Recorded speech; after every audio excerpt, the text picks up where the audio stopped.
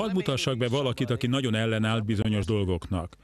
John Mitchellnek kemény munkája volt, hadi tengerészeket képzett ki a harcra. Feleségének azonban még nehezebb munkája volt a családi költségvetés kezelésével. Mint a legtöbb katona feleség, Jane is azzal a félelemmel élt, hogy férjét bármikor átveszényelhetik a tengeren túra harcolni. John a haditengerészet tartalékosai között szolgált főtisztként, amikor berendelték aktív szolgálatra. Egy távoli katonai táborban állomásozott, és csak hétvégente mehetett haza. Elég nehéz volt mindkettőnknek, messze kerültem, túl messze ahhoz, hogy meg tudjam oldani az otthoni problémákat. A helyzet rosszabbodott azzal, hogy John-t más munkakörbe helyezték, így családja elveszítette addigi bevételük egyharmadát. Úgy gondoltam, semmi gond, megbirkózom a helyzettel. Tudok magamról gondoskodni. De nehéz volt, és nem működött. Ekkor hallott Jane a tized fizetésről, és meg is beszélte Johnnal. Úgy döntöttünk, tizedfizetők leszünk. Abba hagytam az erőködést, és megtanultam, hogy rábízzam a dolgokat Istenre. Soha többé nem aggódtam a pénzügyek miatt. Mire John befejezte az aktív katonai szolgálatot, a családja anyagi helyzete gyökeresen megváltozott. Ha jött egy számla, egyszer csak pénz is jött valahonnan, egy visszafizetés vagy visszatérítés. Mindig megvolt a szükséges összeg, és végül azt vettük észre, hogy fölöslegünk is marad. A gyülekezetüknek való tized fizetésen kívül Michelék a CBN-t is támogatták. Világszerte elérik az embereket. A televíziós programjuk az igazságot tanítja a gyógyulásról, a bizonyságokról, és olyan dolgokról, amiket máshol nem hallhatunk.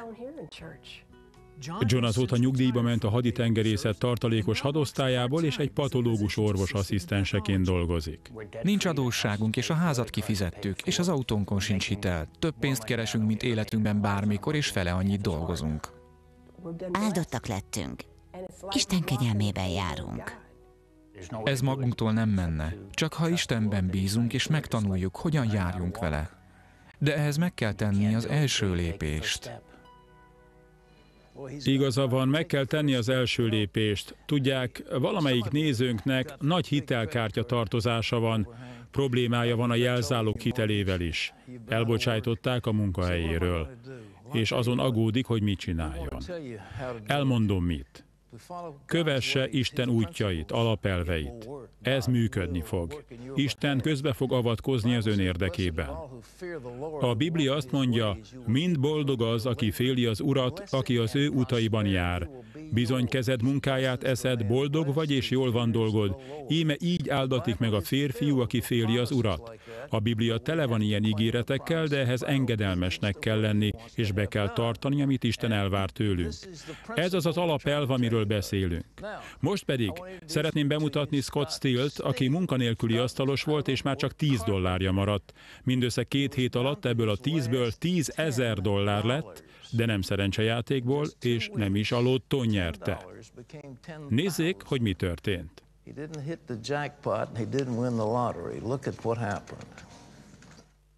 Scott Steele gyakorlott asztalos volt, rengeteg megrendeléssel. Felesége Melissa így otthon maradhatott a gyerekekkel. 2001. szeptember 11-ét követően rendkívül nehézzé vált a helyzet. A hatóságok alig adtak építkezési engedélyeket, és az emberek féltek. Nem akartak lakásfelújításra pénzt költeni. Az ezt követő három évben Stillék szinte mindenüket elvesztették. A dolgok olyan rosszra fordultak, hogy étkezési jegyekből, segélyekből éltünk, türelmi időt kértünk, a lakáshitelre is. Istenhez fordultam, és azt mondtam, te azt mondtad, hogy ilyenek és ilyenek lehetünk, ezt és ezt kaphatjuk meg, úgyhogy most rád várok. Stillék Isten felé fordultak hittel, és imádkoztak anyagi helyzetükért. Azt mondtam, Istenem, ezt nem bírom tovább, még ma szükségem van a válaszra.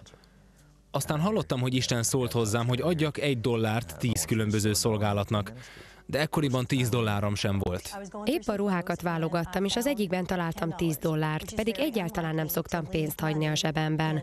Úgyhogy amikor megtaláltam, biztos voltam benne, hogy Isten azt mondja, még a makról is gondoskodom, hogy elkezdhessétek ezt a folyamatot.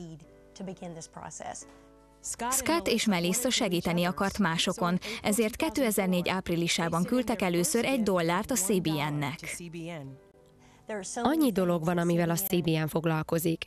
Gyakorlatias módon vesznek részt az emberek életében. Sok helyen szükség van arra, hogy segítsünk az embereknek, úgyhogy azonosultunk ezzel a hozzáállással. Két héttel később Melissa nagymamája eladta az ingatlanát, és ebből 10 ezer dollárt kaptak. Fogalmunk sem volt, hogyan fogunk kiszabadulni abból a helyzetből, hiszen már három éve tartott. Bármilyen folyamat is vezetett annak a szerződésnek a megkötéséhez, abban a két hétben ez lezárult.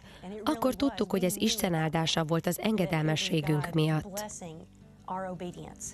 Ezután Isten azt mondta Scottnak és Melissának, hogy emeljék százszorosára a CBN-nek szánt adományukat.